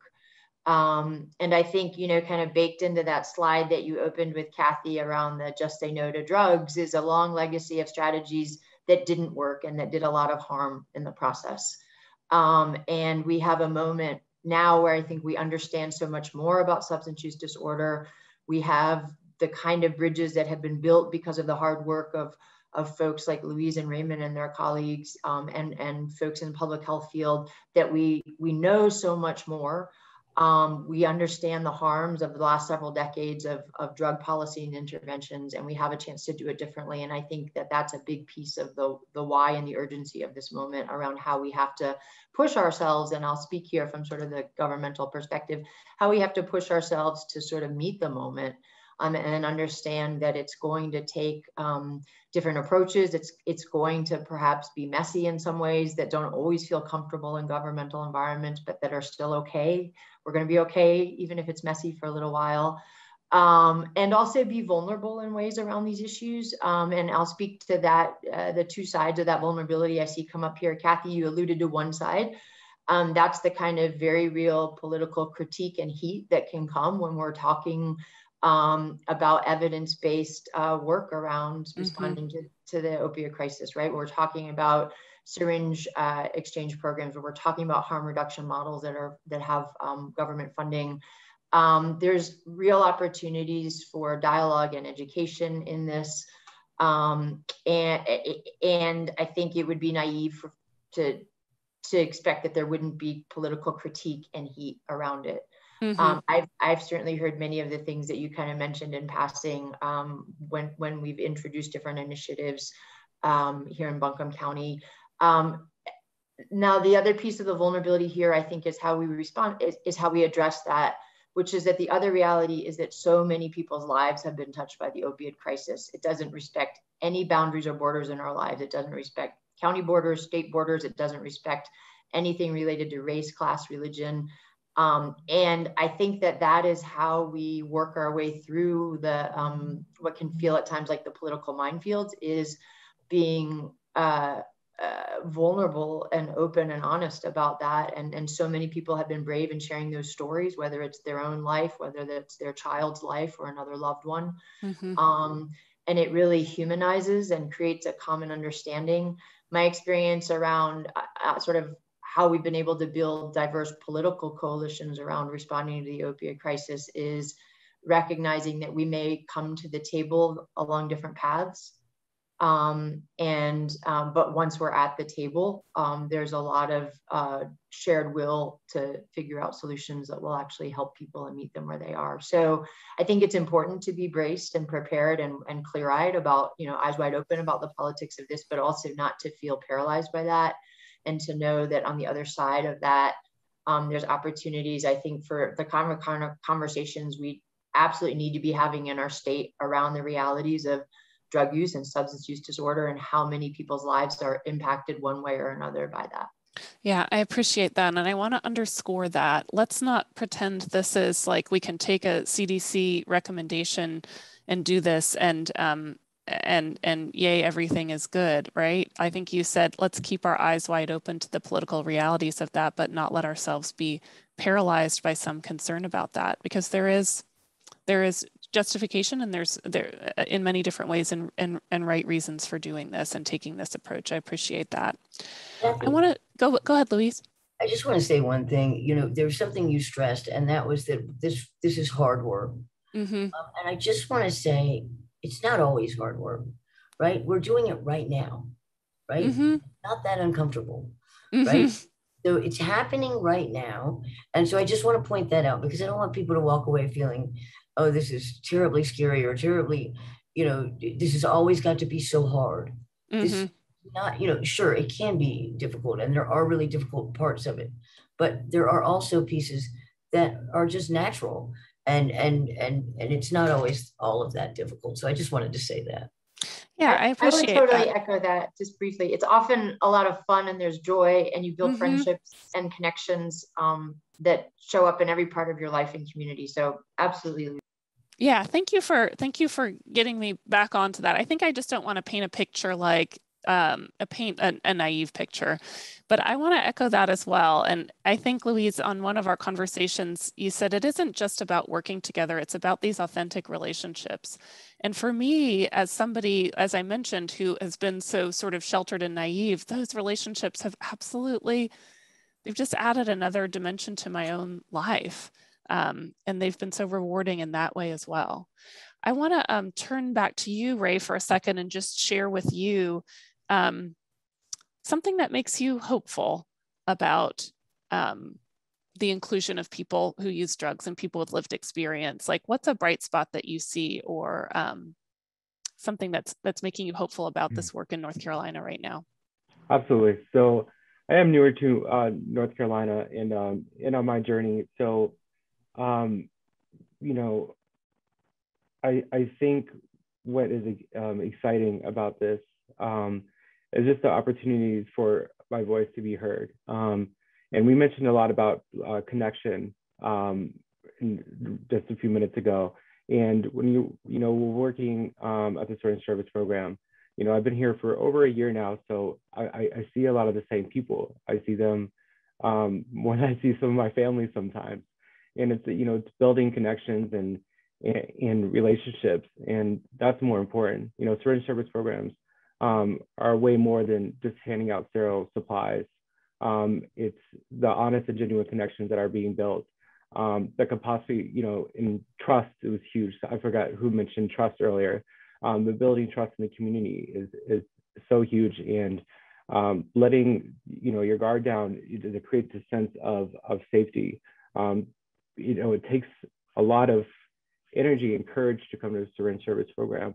Um, so when you're creating that environment for, for people to come to, and it's it's genuine, and um, that's why I'm thankful for part of our harm reduction program here at WNCAP is we have our community navigation program. Um, it's more um, one-on-one care um, it's like a we created like a client-based, um, client-driven action plan um, to connect people to um, local resources um, from simply from setting a, getting an appointment at the DMV and providing transportation for that, or even further than that. Um, at one point of discussions of MAT or you know other alternatives to getting into care and treatment. so it, it's exciting that there's you know such a huge spotlight and opportunity um, for all of us to come together in different lines of work, um, from local government, um, the state government to syringe service programs and uh, people who um, do struggle with substance use. And it's just, it's incredible. And I'm, I'm very hopeful um, for the future that we'll be able to, to do a lot of good together and save lives. Great. I hear you saying that, that those connections are such a source of hope. And I think Louise shared that, like her whole team being so hopeful about being able to build trust with people who came to them and keep them away from harm earlier this week.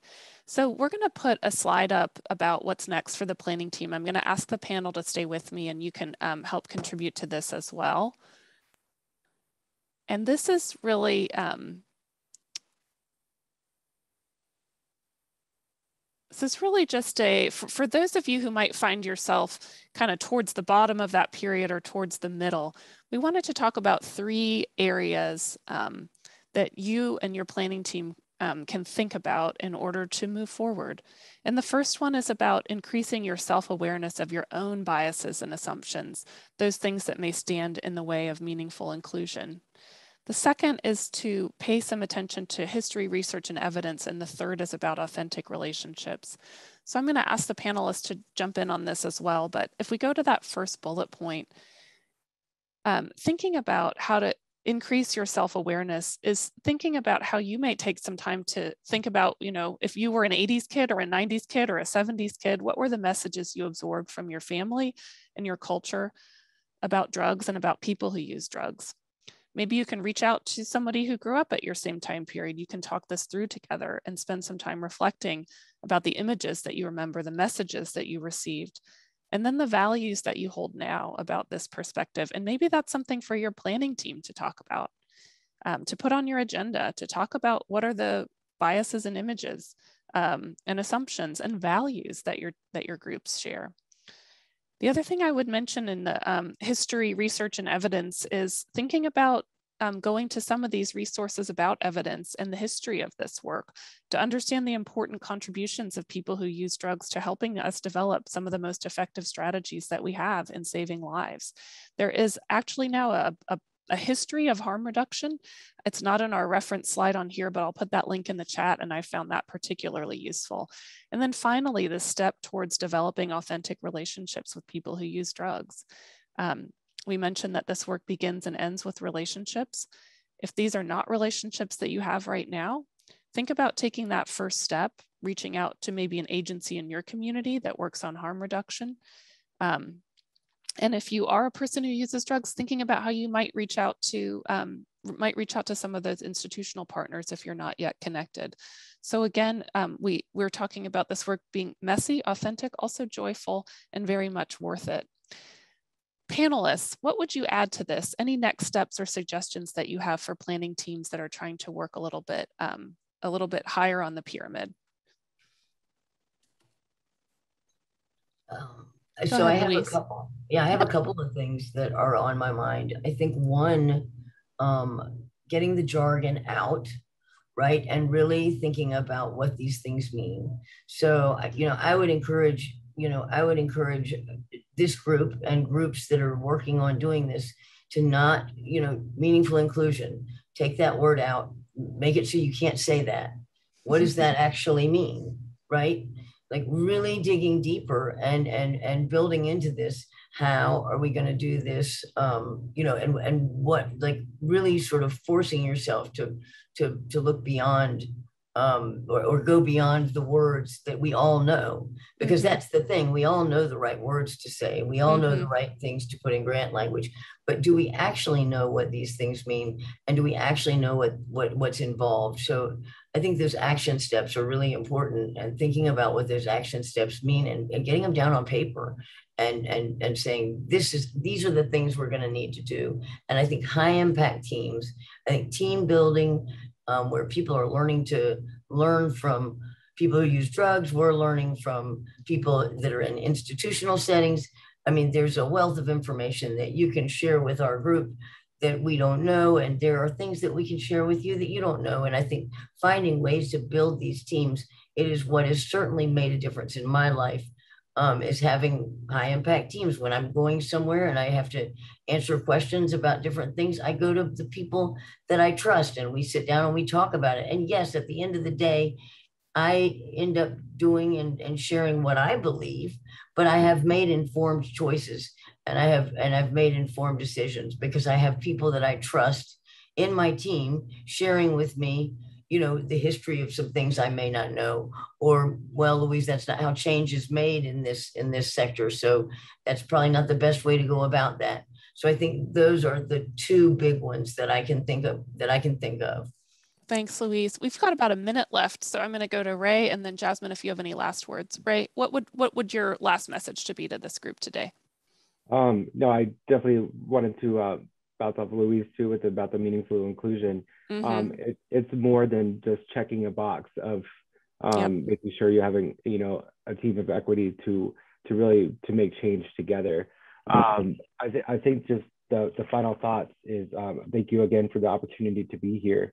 And um, I really hope um, as each county um, and as these funds um, coming in um, that have potential to save so many lives, that we mm-hmm. continue to not not even just me and Louise um, to have other uh, individuals with the, with a lived experience to be at the table as well, because you know people with lived experiences we're not all the same.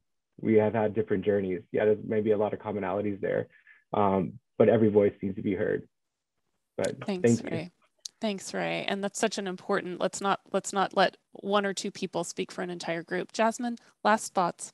Um, just briefly for you know for folks who may be in county government thinking about this, I would just say start with a first step.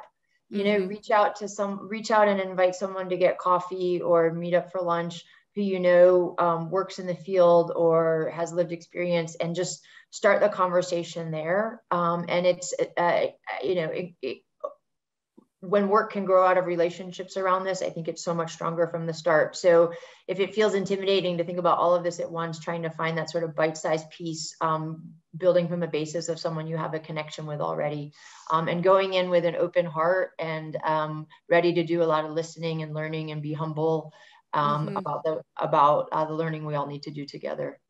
Yeah. Well, I want to thank Louise, Raymond, Jasmine, and also my colleague Allison for this. We're gonna. Um, those are such wonderful messages to be reminded of. I, I like how Jasmine ended it on um, this can be so intimidating. Start with the things that we know, which is making those connections with an open heart, with humility and honesty. We're going to turn it back over to Steve, who's going to take us through a Q&A period. Thank you so much for that um, really inspiring panel. I particularly want to thank Ray and Louise for sharing your experiences and your wisdom. And, and you know, the thing that sticks in my mind is Louise's focus on high impact teams. Um, I would love to hope that the partnerships that we are working on to make the most of the settlement funds, I hope those will be a lot of high impact teams. Um, I love that phrase. And Louise, you and I will have to sit down and talk about uh, what that means in your work. Um, I am actually going to be assisted by um, Anna Stein and Alyssa Kittless, who have been tracking the, both the Q&A and the chat. One preliminary note, so some folks have decided that this is a perfect time to cut down some trees right outside of my apartment. So if you hear big, loud crashing noises or things that sound like chainsaws, uh, don't be alarmed. But Anna and Alyssa. Okay, Steve. So um, first question, that we've talked a lot about some of the great work happening in Western North Carolina on this at this meeting. Um, what are some efforts that are happening in Eastern North Carolina? That is a great question. Um, let me actually maybe ask um, April first if she has any any thoughts on that from the perspective of a Western North Carolina funder.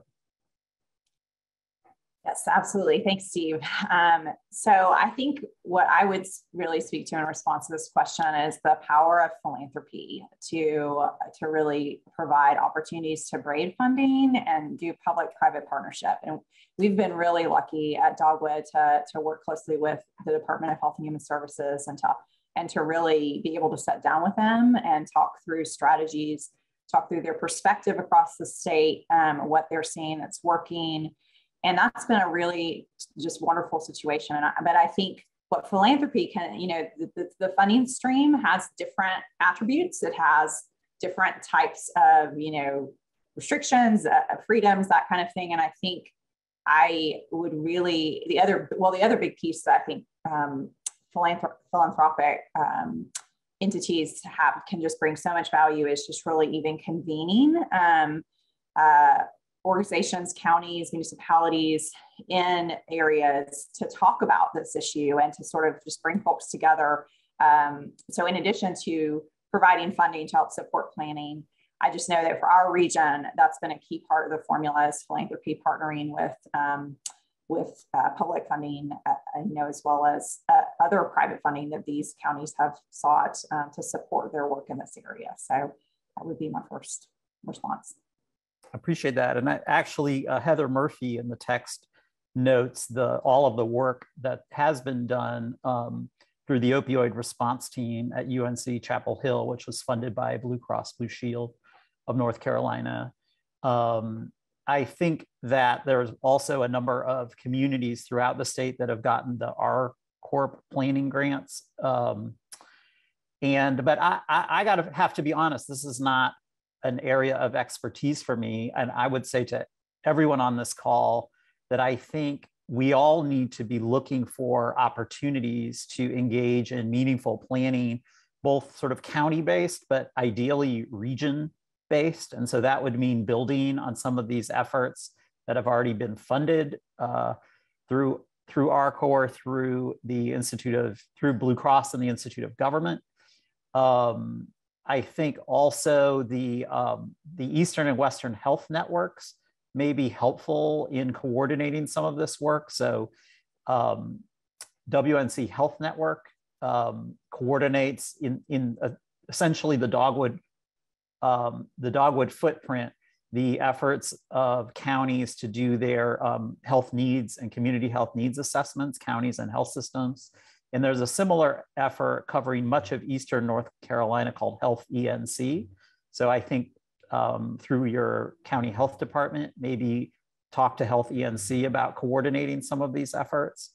And I think really all of us collectively need to be making a pitch to, um, to the General Assembly, um, which is going to be getting 15% of these opioid settlement funds. To my mind, what a perfect use of that 15% to support planning efforts around the state, um, to DHHS, and to um, both state, regional, and local um, foundations. And candidly, given this is an 18-year funding stream, I mean, I, I, would think outside the little the box a little bit about who might be willing to help convene some of this planning work and support some of this planning work. I mean, this is not just an issue of addressing um, addiction and overdose and drug misuse. I mean, this is potentially something uh, when we talk about addressing the social determinants of health and supporting people in recovery through transportation and housing and employment. I mean, this can be seen, I think, really as an economic development issue. And so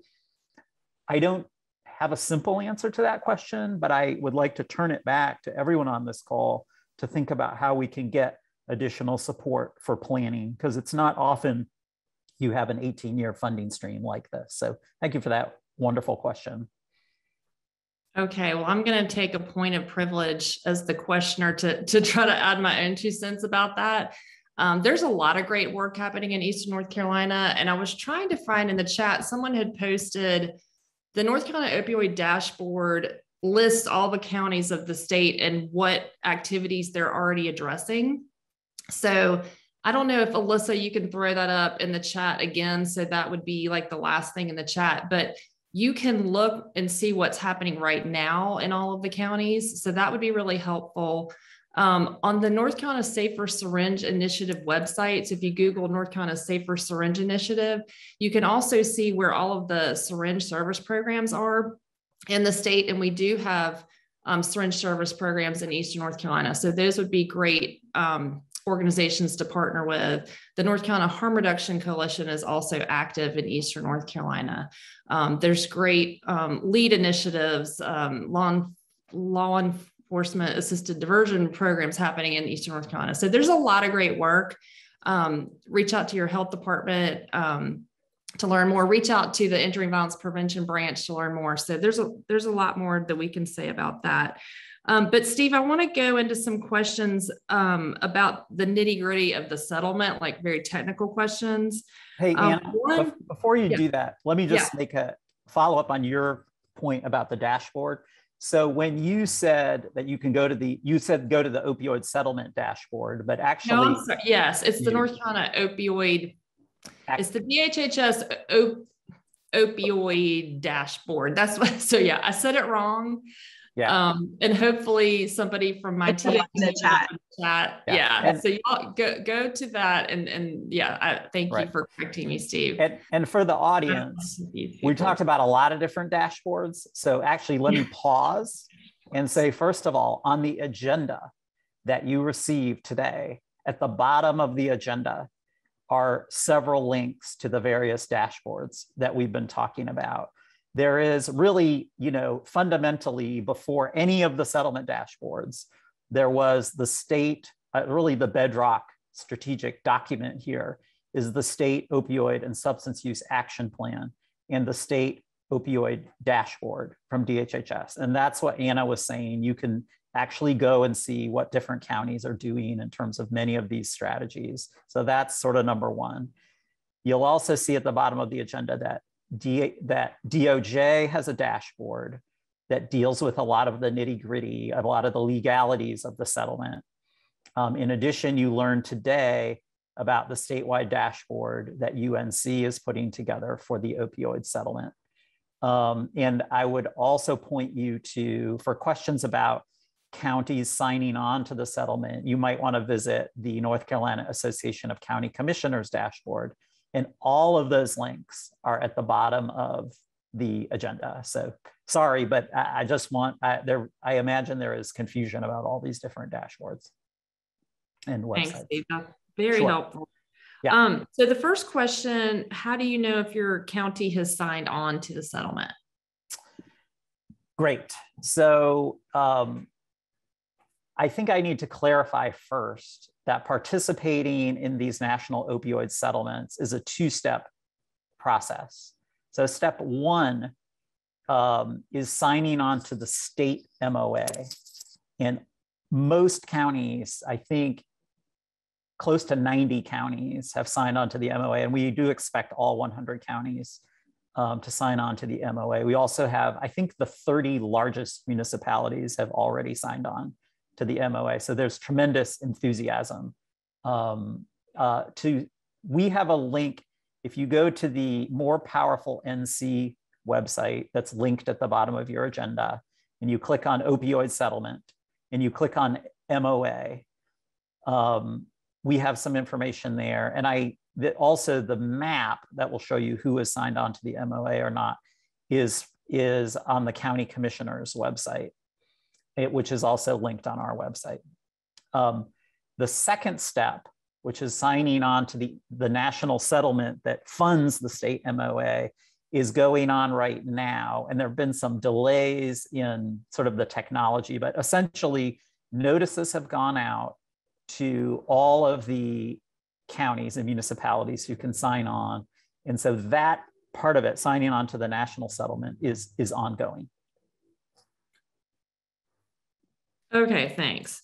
Um, can you walk us through a calculation of a sample county's share? How can somebody figure out what share their county will get?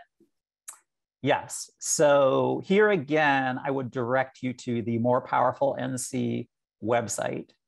On the More Powerful NC website, there's the section about opioid settlements.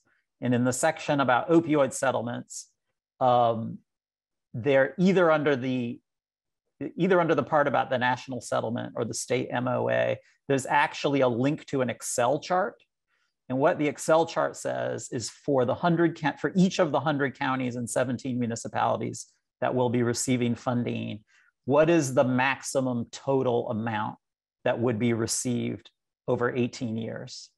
Um, that's the best we can do right now because of some of the complexities about not knowing exactly how much money we're going to get under the settlement, but that will at least give you a ballpark. I mean, you can divide that by 18, um, and that would give you a notion of what would be coming into your county or municipality on an annual basis under the settlement.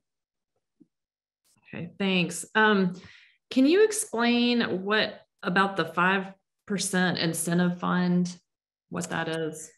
Yes. So um, I don't want to go into too much detail, but under the MOA, the actual um, division of money was originally um, 15% to the state, 80% to the counties and municipalities, the, the counties and the 17 municipalities, and 5% to um, an incentive fund. Essentially what the incentive fund basically said was hey counties if you can get your large municipalities to sign on to the settlement you can participate in this incentive fund. And so without getting too far into the weeds what has essentially happened is that all of the counties that have municipalities over 30,000 have gotten all of those municipalities to sign on. And so essentially every county essentially everyone gets to participate in the incentive fund, which makes it a wash. So, for all intents and purposes, it is now accurate to say that 15% goes to the state and 85% goes to the counties and municipalities. And, and, and essentially, the incentive fund just gets washed into that 85%. Okay, thanks. That's really helpful. Um, and what happens if a county doesn't spend all of its money in 18 years?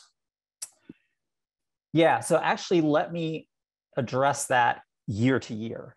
Um, so when I was talking about the MOA in my opening presentation, I mentioned that there's a lot of flexibility as between option A, that list of strategies, and option B, that planning process. Um, and I mentioned that in a given year, say, you know, Alamance County, they could actually do either option A or option B or a combination of option A and B. And there's a similar flexibility with respect to the timing that opioid funds are spent.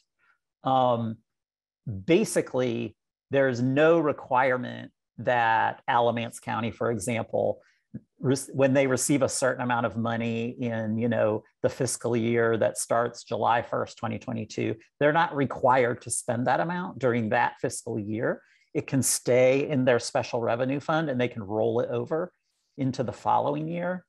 And when you get to the end of 18 years, you, there's no actual requirement that, that you spend it in 18 years. You could roll it over into year 19 or year 20.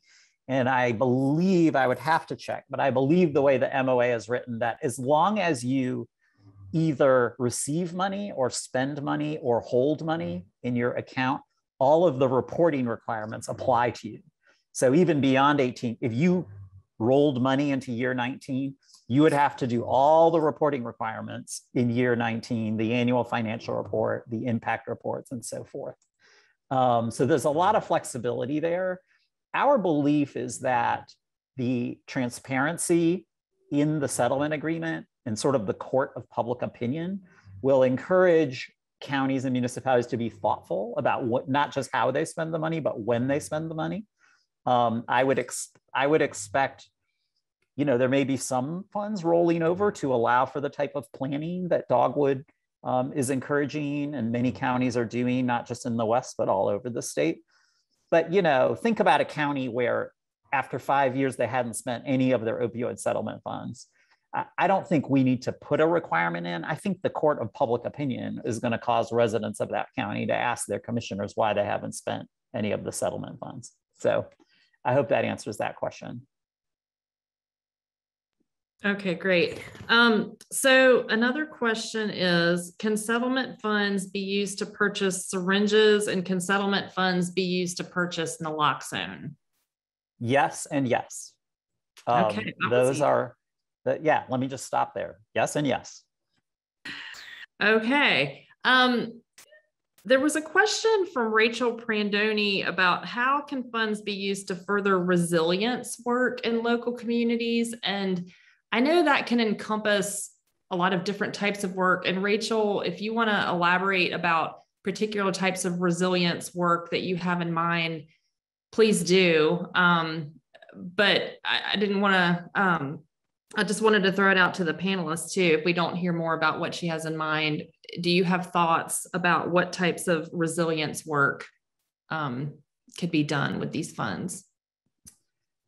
Um, I, I might need to understand that question better. Uh, I mean, uh, one thing that I'm really excited about in the option A strategies is the very broad range of um, recovery support options that are in there. I mean, in addition to evidence-based addiction treatment, particularly medication-assisted treatment, there's very broad language about supporting people in treatment and recovery, whether that means housing, employment, transportation, education, job services. Um, and so certainly in that respect, um, you know, I, I think those are all things that sort of encourage and support resilience. Um, I would be happy, um, I, and I'd be happy to have, if folks have um, questions, you know, that question in more detail or other questions, I, I, am happy to address those. If you put them in the chat,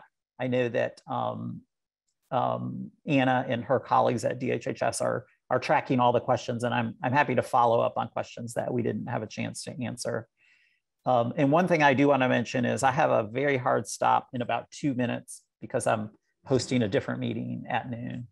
Um, Let me ask you one more technical question.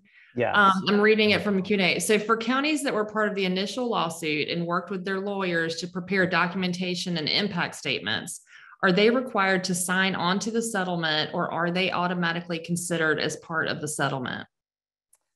um, all everyone is required to formally affirmatively sign on to the settlement.